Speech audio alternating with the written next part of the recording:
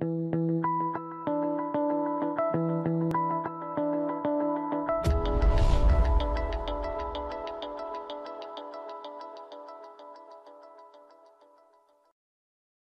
guys, this is Grant Coombs III, aka Balbomb, coming to you for another video from CardRunners.com. In this video, we're going to be going over Markuis's, our resident head, heads up experts, play at uh, 100 NL 6 max.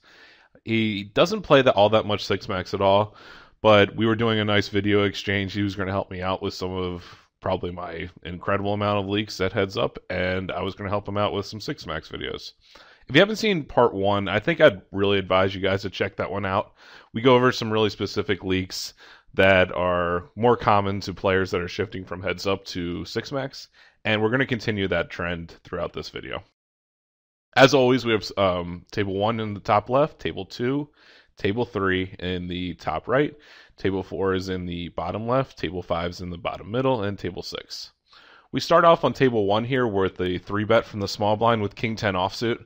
This isn't my favorite um, hand to be three betting, although with the correct stats, I would have absolutely no problem doing this. Probably someone that's folding, I don't know, 60% or more to three bets is a really good uh, candidate to be three betting. It obviously still has Broadway potential, but for the most part, I tend to leave this in either my calling of the small blind or even just uh, folding it. But with a little bit of history, it's going to be perfectly fine. Um, it also plays well against a super collie opponent as well, who's going to be calling with less hands um, or with uh, less value hands. We have the Ace 8 3 board, and I think you can look at this a few different ways. If you believe that this player is going to be calling just a lot of hands, one simple C bet is going to take this down a large amount of the time, which is going to be really effective.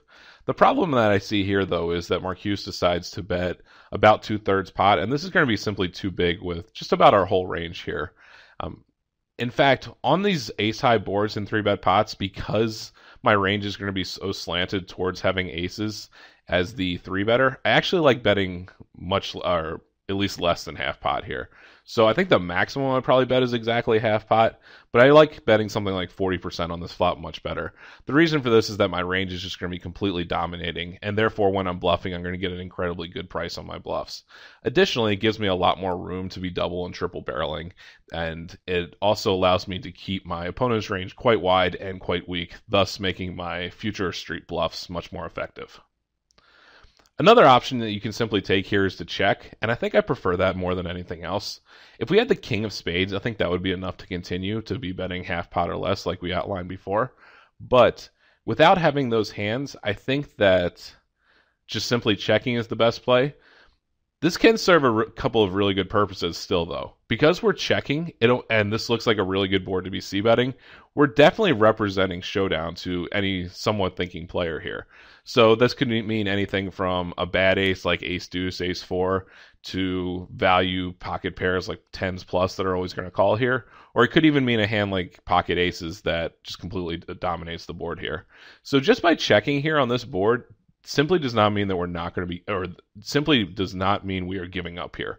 Instead, it just means that um, we're playing it in a different fashion, and it looks like we have a lot of showdown value. As played, Markuis bets about two thirds pot, and when we get called in this situation, it's going to be really bad for continuing on this board. First of all, we've already inflated the pot, in my opinion, at least more than I'd ideally like to. And secondly, if he just calls us with 8x, or um, yeah, probably 8x or 9s, 10s. I doubt that he would go as far as the calling with something like King Queen with the King of Spades, although that's certainly in some better players and uh, weaker players' uh, game plans as well here. Um, with that said, though, there's just going to be so few cards that we can bar- barrel effectively. Sure, Broadways are going to be okay for our range, and we can probably get them off 8x, but at the same time, um, all spades are going to be bad for us and he's still going to have a lot of ace X's in his range here as well. I do think that the only play we can make here on the turn is just giving up, which is rather unfortunate. But at the same time, I think that um, I think as play is the correct play on the turn, but I think we can definitely find other ways to win this hand against a large percentage of his range.